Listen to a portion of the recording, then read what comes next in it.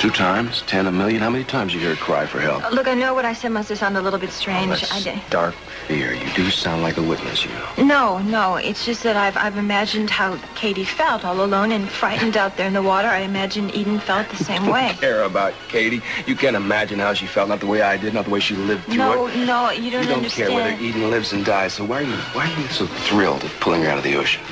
Because of Katie, I always wished that I had been able to save her, and with Eden, it was like a second chance.